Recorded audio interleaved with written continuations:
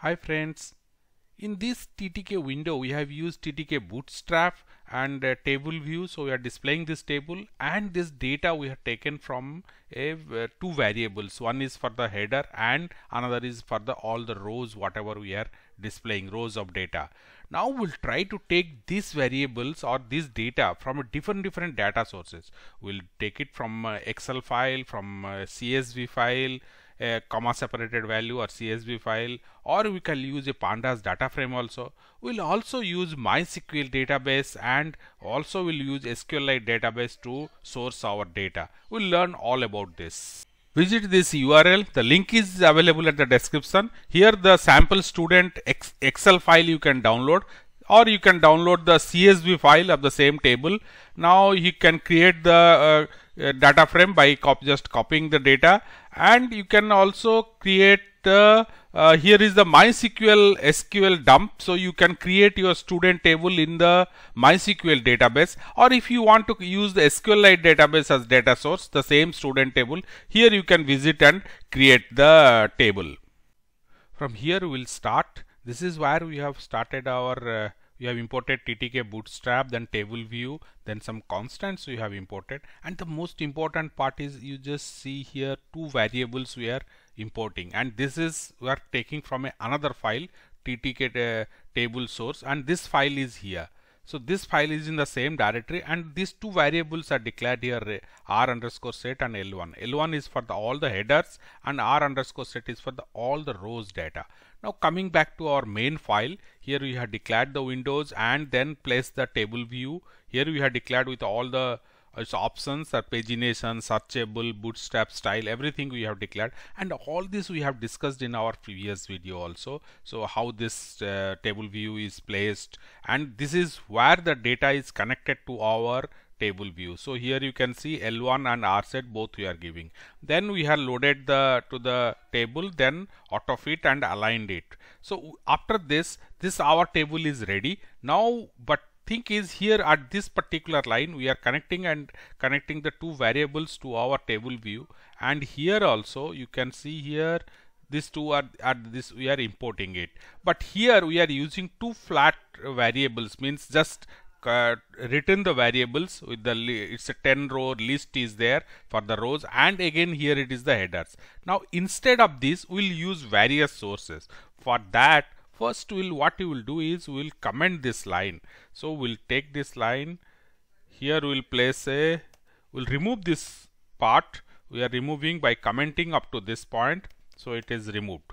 Now after this we will connect our own source. But whatever source we use we we generate these two variables only. We'll keep the variable name as same. In that case this particular one th there is no there will be no change in code in this file so this file will remain same and it will call the these two variables to use it. But here how we generate the two variables that we will keep on changing by taking different different data sources. So let's start with csv file sorry it's a comma separated value file. So this is a uh, file all the rows are uh, all the columns are separated by comma.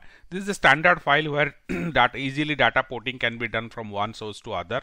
This is just like a text file also. It but the data are separated by commas and each line uh, are separated.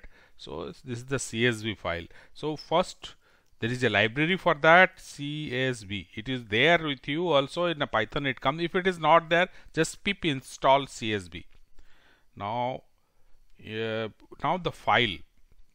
I am creating a file object open. Now what i am opening is i am pointing to my location where my student csv file is before this you can also say you you have seen you are you the samples uh, csv file you have must have downloaded. Now let's just see f. It is my location f drive. Now the data this is a directory name and student dot csv csv now this file and you you have to change your one suppose you are kept in different location you just change your path. So i am change your path. So accordingly. Now my file is ready. Now I am saying see just variable only reader equal to csv dot reader now file. So I got the reader now. now I am creating now the list L1 L1 is uh, my whatever the header list I have to one of the two variable one is L1 another was R set so L1 I am creating a blank one now next line blank list I am creating L1 equal to next. I am saying CSV reader CSV reader. So I am column headers I am getting the first. Getting sorry I'll, I'll just simply write it headers. Oh, sorry I have to give a comment so next is on a iterator. It next will take the pointer to next one. It will pull out the first row. So now whatever is left is is our data. So I am saying r set equal to because that is the rows data. So I am giving row for row in CSV reader. So that's all. Now what happens is now this rest of the rows are I have stored it in R set. So and header is these two variables only we are interested. So that's ends that ends my reading CSV file. I am just saving this here there is no change because the same two variables where from I am taking that matters. So let's just run it. If the data comes, it is coming from the CSV file. Let's just run it. Yeah, here it is. So I have my around 35 rows of data in our CSV file. So that is why the paging is coming because here our paginated is set as true at line number 12.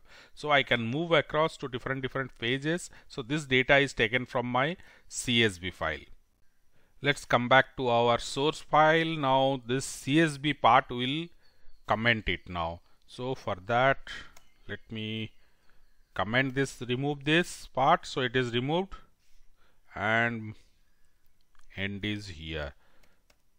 So now CSV is removed. Now we'll add above this or we can anywhere. Now let's go for Excel. So we'll read from a Excel file. So for that we'll say from open OpenPy Excel. Now open openpyxl import load workbook so this is the what we are going to use it so workbook now in this library workbook equal to load workbook now here file name so here I have to give the path. So in your case, wherever you have stored, you give this. This is uh, for me the same one. Now I am giving data. Inside the data directory, I have student. Now XLSX. This is the file I have. And one thing I will give is read only. I will set it to 2 because this Excel file I am not going to change. Read only equal to true. So this option I have given. So I am not going to change anything on that. Now I will start with worksheet. What worksheet I am connecting? In my Excel file, there is just the uh, only one worksheet is there inside the workbook. So that is student. So I am just giving WB. If you have a C2, by default it will be C two, one C2 like this. So if it is just check it up. So I am giving student for me. Maybe maybe in your case it will be C1. Now that's all. Now I'll collect the data. R set equal to now here I am saying row sorry sorry sorry this reverse row for row in ws dot iter rows now uh, this rows whatever we want values only so I have to as values only equal to true now that's all so we have got the all the all the rows whatever is there you pick up that's what we are telling and it will be hold in our R set. But one thing, we will separate the header from that. So for that we are saying L1 equal to R set. Now dot pop the top row. So we'll be giving it a zero row. So remove that. So and hold store it in L1. That's all. These two variables only we are interested whatever be the source. So I am just saving this. Now let me just run this and see where from. Now if it it is coming from the Excel file. So let's run this and see. Yeah, here it is. So this Excel file contains the same data. I can go to the last also. Now let's uh, go to again to our data file. So this also will comment. Now I am 3 below that uh, up to this point. So here I will again. So now this is also commented. So Excel is commented. Now here in between this I can write it here. Okay it is clear. It is from here the Excel file is. Below that CSV now I'll just write here Excel file fine so this has come here now we'll go for pandas data frame we'll uh, write the comment here data frame. So data frame will take the source from a data frame. Anyway, we'll create a data frame by using again that same Excel file because there are 43, 45 rows of data. So the collecting, creating manually will take time. So I am creating the data frame. Okay, sorry, sorry. First I have to import pandas. Import pandas as PD. Now I will say df or data frame equal to PD. I am creating the data frame. Read Excel now this function will read any Excel file and create the data frame. There are many options. I am just not going for anything complex here. F drive. I am giving the path here. F drive. Now it is the data. Now inside data student dot xlsx. So this is the path I have given. Now my data frame is created. Now from this data frame, I will create a L1. The my whatever is the list data frame. Now this will have my column headers. So let me just move up column headers are ready. Now I have to get the rows r underscore set this equal to df here some functions I am using to numpy these are all uh, methods available in our uh, pandas to list. So I am creating the list here also and this will contain the rows of data. So you can see, so these four lines of code or actual three line of code is enough. So now all others I have uh, commented only this three lines only is in line. So other things are commented. You can just verify it. Yeah, others are CSV, Excel, now other at the top so whatever we'll get it in our main file is from the pandas data frame only so i am just running this let's just see hmm, i think my previous window oh yeah so this is the now it is coming from the pandas data frame now we'll again move to another data source. So for here pandas is here. I will comment this part. And come end is here. So we are removed pandas now. Now above that we'll start using SQLite so for SQLite we will be importing our SQL Alchemy create engine. So I'll say from SQL Alchemy import create engine so this is what is the library we are using so if you have not installed in pip install and we have a, a exclusive uh, tutorial for that. Now I am pasting here a one line of connection string here. You can see my connection create engine SQLite testing. This is what actually I am and this is the you know SQLite is a file base. So this is the path where my database is uh, stored. In your case if it is different change it. So I establish the connection. Now I'll get the data. So that is R set or the rows I am getting. Uh, or is the record set. My connection dot execute. Now what it will execute is I am getting executing a query. So I'll write that. Select star from student. Student is my table name. All the records I am telling bring all the records so around 35 are there so that I am getting now I'll get from this I will get my uh, headers first or the column headers. So L1 this is equal to R for R in R set dot keys. Now I will get the all the list of headers. So I'll this is a list again. I'll just say list of headers. Now my record. Now that is over. Now I got the list of headers. Now I'll get my record set. Mm, okay R set equal to now the same R set I am using. Now I'll say here R for r in r set dot uh, sorry r uh, in r set that's all. Now this gives me the list of all the rows but I will just convert because it said I'll get always get a tuple here so I will convert it to list. So I am saying it list. Without that also I'll get I'll can able to populate it but you will see the brackets at the end. So without that so now these two now I am saving this. Mm, my all others are commented. Let me just run the main file so I can see the data is coming or not so here it is. Now this is coming from SQLite database. So 35 records. I can move to different different pages also.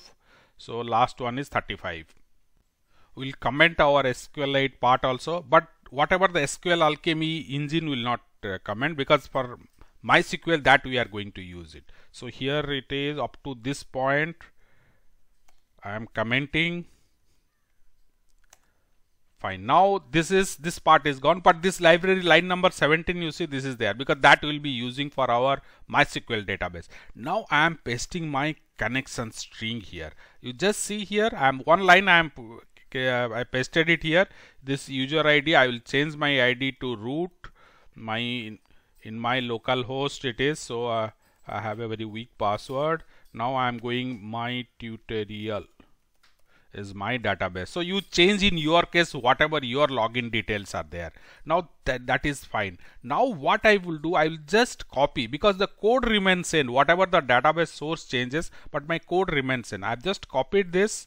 So I and I'm coming here pasting it. That's all. Now the my my uh, SQL database is ready.